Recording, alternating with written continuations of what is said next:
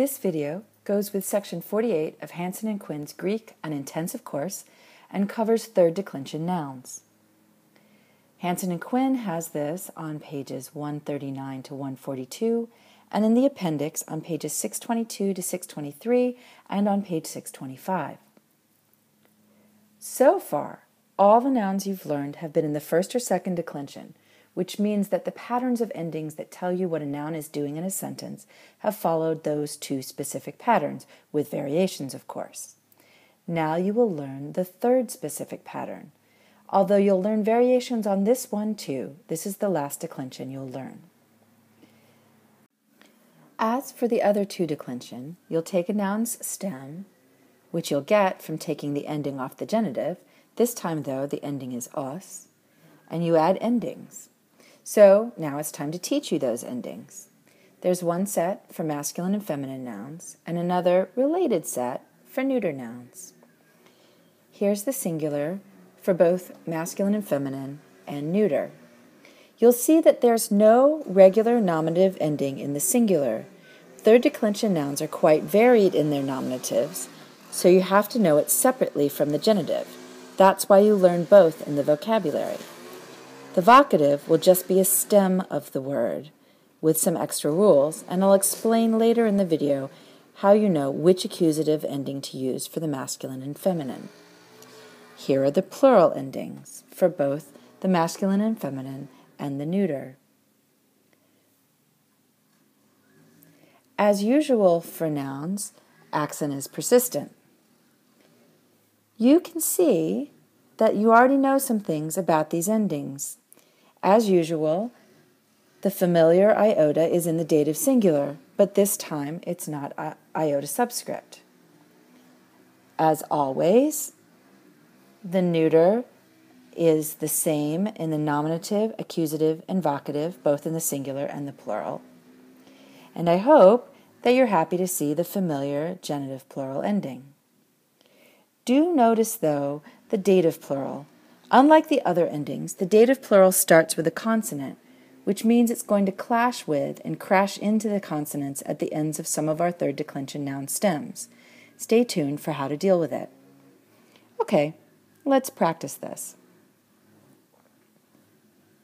We've got the endings down there in the corner to remind us what we're doing. Our first two nouns to work with are phulax, phulakos, ha, which means guard, and aix, aigos, ha or he, which means goat. To get the stem, we take the genitive of the nouns and we remove the ending os. And let's see how that works when we decline it. As I said, you simply have to know the nominative singular, which is the first of the two words in the vocabulary that you learn.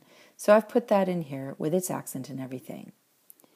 Now I'm going to put in the stem into all the other cases and numbers.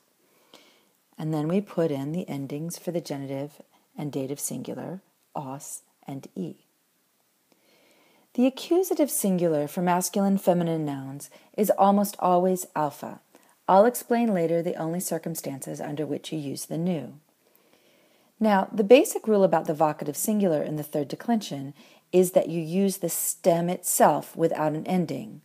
But a noun whose nominative ends in xi or psi, as this one does, has the vocative in the same form as the nominative.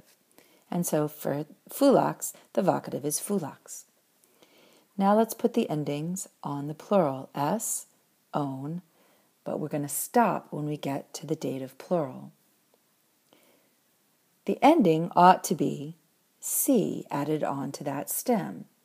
But as in the consonant stems of the perfect passive system, that collision between consonants changes the spelling.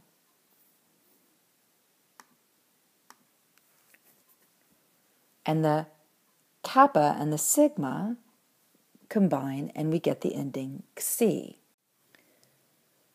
For this reason, I call the dative plural of the third declension the damn dative plural. After that, the accusative plural as and the vocative plural s are pretty easy.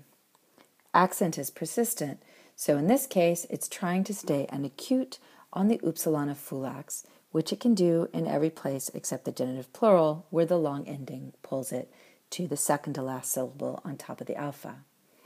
And so we get fulax, fulakos, fulaki, fulaka, fulax, fulakes, fulakon, fulaxi, fulakas, and fulakas. Let's try it with goat. Again, we just put the nominative in there. And I'm going to fill in with the stems, but now I know that the vocative is going to be the same as the nominative because it ends in C, and so I just put that in there, and then the stems for the plural. And then we put the endings on. Again, the damn dative plural is going to stop me. And we're trying to add the ending C, and it becomes, in combination with that gamma, xi then accusative and vocative. Accent is persistent, so it's trying to stay unacute on the diphthong I, but there's a special rule for third declension nouns with one syllable stems, as goat has. The accent moves to the ending in the genitive and dative, both singular and plural, with a circumflex on the genitive plural. Those accents are in red here. So now we need some more examples to practice with the third declension. They are elpis, elpidos, he, and charis, charitos, he. That's hope and grace. To get the stem, we take the genitive and we remove the ending os. Let's put the stems of elpis in, remembering to keep the nominative as it is in the vocabulary listing and then we put the endings on.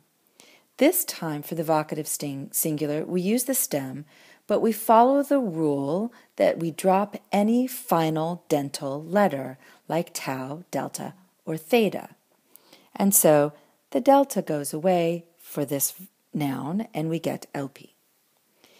Then we get the plural endings, and once again we stop in the damn dative plural, and we're trying to add again the ending C, in this case up against a delta, and it just swallows that delta up and we get only the ending C. Then we have accusative us, vocative S.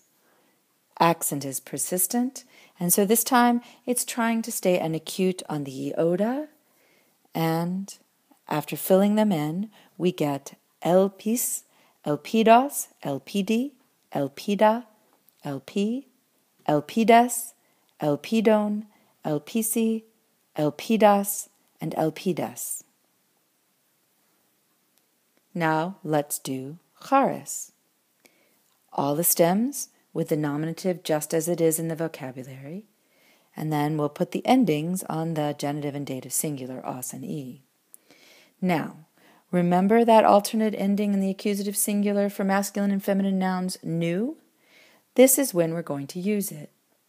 If a third declension noun stem ends in iota and a dental, as this one does, and the accent is not on that iota, as is true with charis, then you, you oh sorry, you lose the dental from the stem in the accusative singular and you add the nu.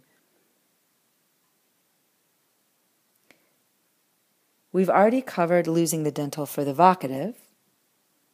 And then we can keep adding the endings for the plural until we get to the damn dative plural, which is trying to become this unpronounceable word for the Greeks. And so the dental goes away and we get just the ending C, accusative, vocative, persistent accent, which is trying to be an acute on that alpha and after we fill those all in, our declension for charis is charis, charitos, chariti, charin, chari, charitas, chariton, charisi, charitas, and charitas. We still need to look at a couple more examples. We're going to work with soma, somatos, ta, which means body, and geron, gerontos, ha, which means old man we take the genitives and remove the os to get our stems. Let's start with soma, which I'm going to put, go ahead and put in here in the nominative because you must know that from your vocabulary to know what the nominative form is. And then I keep putting in stems, remembering that this is neuter, which means that the accusative and vocative singular are the same as the nominative singular. That means that the singular endings are easy, just the genitive and the dative change form at all. The plural stops again at the damn dative plural, where we try to have this ending, but it combines with that delta, eating it, I mean, that dental, eating it up to become somasi. And then we continue with the accusative and vocative endings, which are the same as the nominative because we're in the neuter. We get persistent accent, which is trying to stay a circumflex on the omega so we put in those endings following the rules for accent, and this is what we get soma, somatos, somati, soma, soma. In the plural, somata, somaton, somasi, somata, and somata. This ma matos kind of neuter third declension is quite common, and you'll see it again even in Unit 6 vocabulary in the noun pragma, pragmatos, ta. Okay, our last example is geron. Here, the nominative from our vocabulary already in place in the paradigm. And I'm putting in all the stems for the other cases and numbers. I'll add the masculine feminine endings for the singular, remembering that the vocative singular is just the stem losing any dental consonant at the end. And in the plural, I get s and own until we get to the damdative plural when we're trying to combine all of this together. Here, we have to try to smush together three consonants. So, what Greek does is drop a bunch of them and make the vowel sound longer. The jargon for this is compensatory lengthening, and this happens whenever the stem of a third declension um, noun ends in ent, ont, or aunt. In this case, it was aunt, and we get a spurious diphthong, they call it oo. Hansen and Quinn on pages 140, on page 141 has a chart with all the damn dative plural combinations, and you'll learn them as you start to learn various third declension nouns. We can finish up with the as and s of the accusative and vocative plural. We have persistent accent, which is trying to stay on the epsilon of geron. And once we put those in, following the rules for accent, our paradigm for old man is geron, gerontos, geronti, geronta, geron, gerontes, geronton, gerusi, gerontas, and gerontes. So I think that's plenty to get you started with the third declension.